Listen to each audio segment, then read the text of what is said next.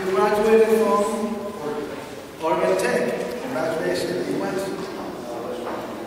electrical engineering. That's wonderful. Let us pray for him.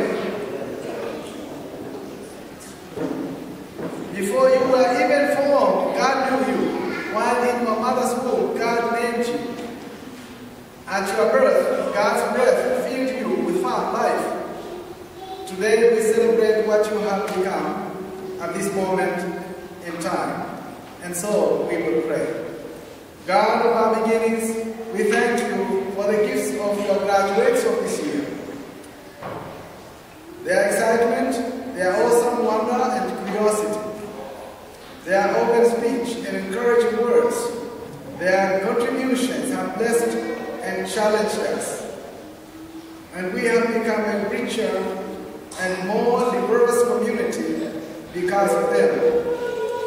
As they step forward into the world that awaits, comforts their, their fears with a full knowledge of your divine presence, strengthen their resolve to walk in the footsteps of Jesus as modern day disciples in a world that needs their spirit.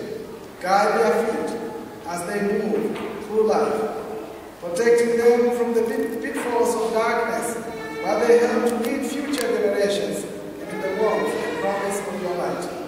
We ask this blessing upon each of them, especially this young man who stands before you. In the name of the Father, and of the Son, and of the Holy Spirit. Amen. Congratulations.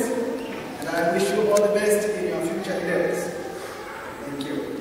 I have a little gift for you. Remind you that you pray with us at Sacred Heart. Continue to pray with any Catholic church you find around.